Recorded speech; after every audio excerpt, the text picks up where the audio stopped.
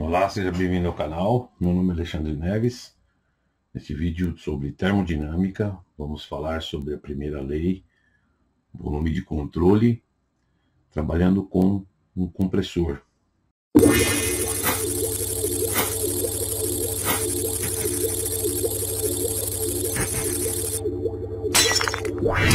Nós temos aqui, no caso de um compressor, fluido refrigerante R134A entra no compressor adiabático a 100 kPa e menos 7 graus e sai a 1 megapascal e 65 graus. Sabendo que a vazão é de 1 kg por segundo, determinar a energia requerida pelo compressor. Vamos relembrar aqui o que acontece num compressor de acordo com a primeira lei. Então, aqui nós podemos, como é um caso de ser um compressor adiabático, fluxo de calor é zero, não tem variação de energia cinética, pode ser desprezada, não tem variação de energia potencial, também pode ser desprezada, sobra só a entalpia, que seria essa parcela. Então, aqui, a primeira coisa que nós vamos fazer é construir um diagrama, e desse diagrama nós vamos colocar aqui as condições que foram estabelecidas através do enunciado.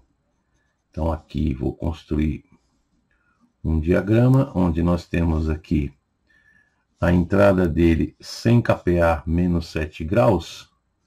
Então vou indicar aqui a linha de pressão, que é 100 kPa. 100 kPa menos 7 graus, consultando a tabela, nós vamos encontrar que ele está na condição de vapor superaquecido. Então, o nosso diagrama aqui é um TV, pressão de 100 kPa nessa linha.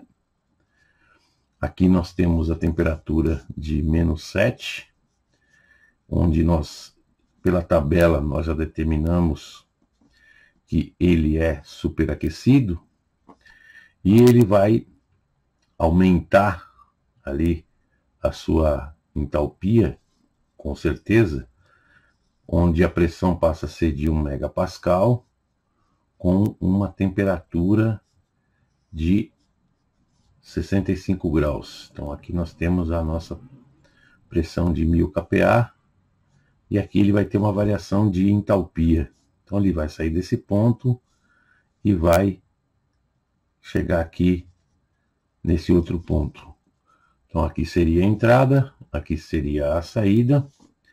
Essa temperatura equivale a 60 essa temperatura aqui equivale a 65 graus.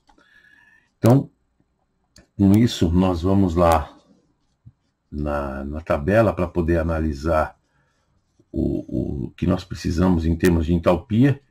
Então, aqui no ponto 1, nós já sabemos as condições, que é uma pressão de 100 kPa com uma temperatura de menos 7 graus.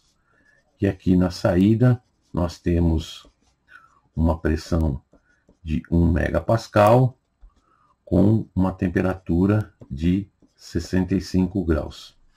Consultando a tabela, nós vamos encontrar para 100 kPa e essa temperatura de menos 7, nós não vamos encontrar na nossa tabela esses valores onde nós vamos precisar fazer uma interpolação.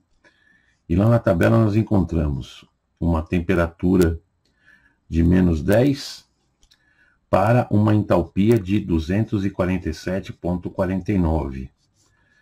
Uma temperatura de 0 graus, nós vamos encontrar lá uma entalpia de 255,58. Nós queremos para uma temperatura de menos 7 graus. E aqui nós vamos fazer uma interpolação. Então, interpolando aqui, nós vamos ter menos 7, menos, menos 10, sobre 0, menos, menos 10. É igual a H menos 247,49 sobre 255,58 menos 247,49 nós vamos encontrar entalpia para esse ponto aqui, H1, de 249,99 2.917 kJ por quilograma. Repetir o procedimento para o ponto 2. Mesma coisa, se nós entrarmos lá na tabela para 1 megapascal e uma temperatura de 65 graus, também nós não vamos encontrar o valor da entalpia correspondente e vamos ter que fazer uma interpolação. Nós temos lá que 60 graus, ele corresponde a uma entalpia de 293,38. Para 70 graus, ele corresponde a uma entalpia de 303,85. Nós queremos para 65 graus. E aqui nós vamos repetir o procedimento, né?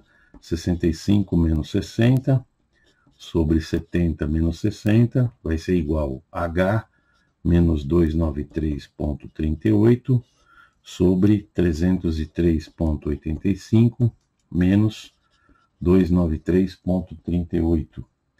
E aqui nós vamos encontrar a entalpia do ponto 2 igual a 298,615 kJ por quilograma.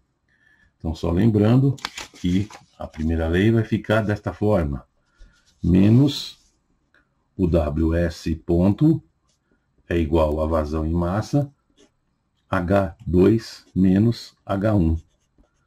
Então, menos WS ponto é igual a 1 kg vezes 298,615 menos 249.917.